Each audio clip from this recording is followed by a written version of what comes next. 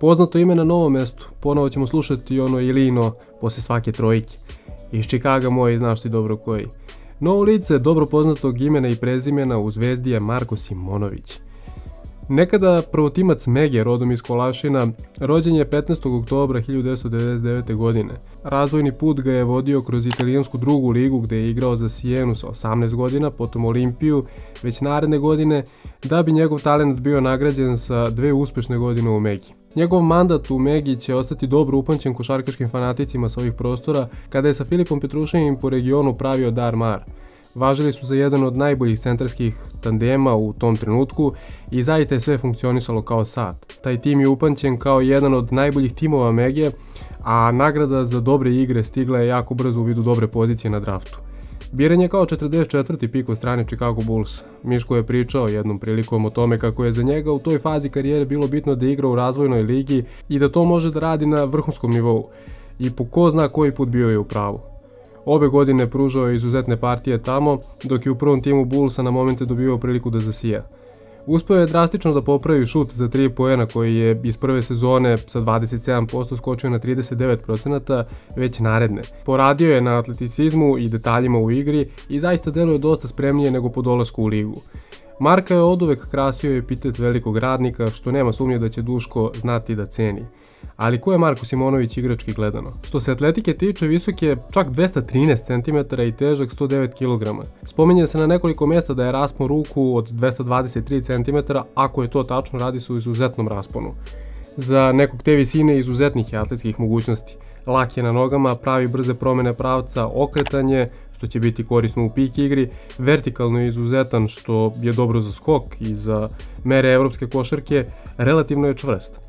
Na mišićima može još da porade, ali u globalu gledano izuzetan je atleta za nekog ko ima 213 cm i tek 23 godine. Na mišićima može još da poradi, ali u globalu gledano izuzetan je atleta za nekog ko ima 213 cm.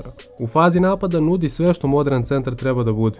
Ima izuzetnu pik igru i kada to kažem ne mislim samo na rol, nego i na pop situacije, blokove pravi čvrsto, ali otvara se brzo, pa je pogodan i za ali dodavanja.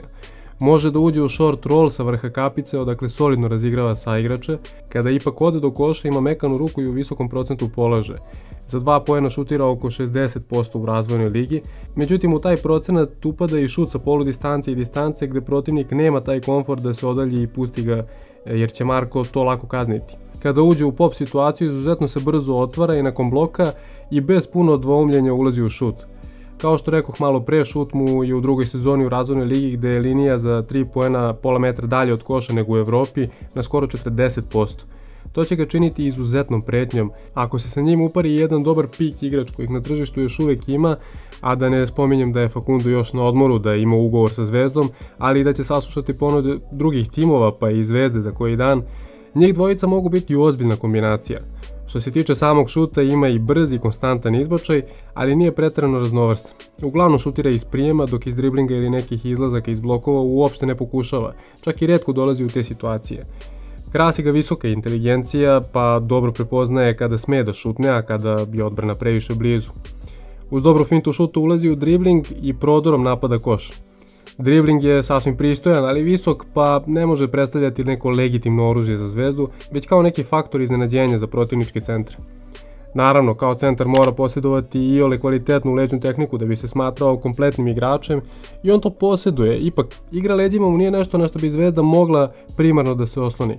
Mora još da obogati arsenal poteza, ali kada dođe u duel sa nekim nijansu slabijim ili nižim igračem ili kada uđe u mismatch to može da koristi pre svega da odvuče pažnju protivniku, a onda i naravno da napadne koš. Ipak ima mekan šut pa verujem da će se tu fino snalaziti. Kada uđe u kontakt podnosi ga dobro, ali kada uđe u sam šut može da ga poremeti i pokvari mu procenat. Kada nije on glavni fokus napada, od lopte zna da pravi jako kvalitetne blokove i dobro se kreće, sa linije penala je pouzdan i šutira oko 80% kroz celu karijeru, tako da nije opcija ni faulirati ga. Dosta je dominantan u ofenzivnom skoku, što zbog svoje upornosti, što zbog dobre atletike i discipline. U fazi odbrane radi takođe dobar posao. Zbog brzih nogu uspeva da stigne i brže i niže centre, velik raspon rukom omogućava da i ukoliko ga neko obiđe i stvori prednost, bude prisutan i oteža svaki šut. Uglavnom važi za pouzdanog defanzivca, koncentracija je uglavnom na visokom nivou, dobro čita napade, pa ostaje uvek ispred napadača bliže košu. lako se prilagodi većini situacija. Dobro gradi defanzivni skok. Ipak, mismatch situacije bi trebao izbegavati jer ako jeste okretan za centra, bekovi su daleko eksplozivniji i brži od njega, čvršći i teži centri od njega mogu mu predstavljati problem kao i odbrana pick and pop situacija u kojima teško uspe da stigne protivnika, uglavnom zato što najčešće čuva u dropu, kako bi pokorio bolje reket. Osim navedenih stvari nema neku drugu izraženu manu i uglavnom važi za solidnog defanzivca. Nije se snašao u NBA koji od centara zahteva mnogo čvršće i teže igrače, a da opet zadrže svoju agilnost. Taj zahtev nije uspeo da ispuni i to je razlog nezadovoljstva Čikaga, iako je on očigledno u prethodne dve godine dosta napredovao. U Evropu se vraća kao iskusniji i kvalitetniji košarkaš bez ikakve sumnje. Kada malo vratim sećanje na onu sezonu kada je igrao sa Petruševim, pamtim da sam imao utisak da će imati bolju karijeru od Filipa, ne zbog talenta koji je drastično na strani srpskog reprezentativca, već zbog stava i ponašanja, govora tela i izuzetnih radnih navika koje je Marko krase. A ako ćemo iskreno i dalje osjećam da Simonović može napraviti dosta dobru karijeru u evropskoj košarci. Zvezdin scouting team ove sezone radi dosta drugačije na zahtev Duška Ivanovića, radi se tiho, informacije ne cure na sve strane, a u isto vreme puštaju da ljudi nagađaju. Posvećuju se detaljima i zaista rade izuzetan scouting posao, ceo stručni štab. Trude se da tim naprave po volji glavnog trenera i za sada im ide.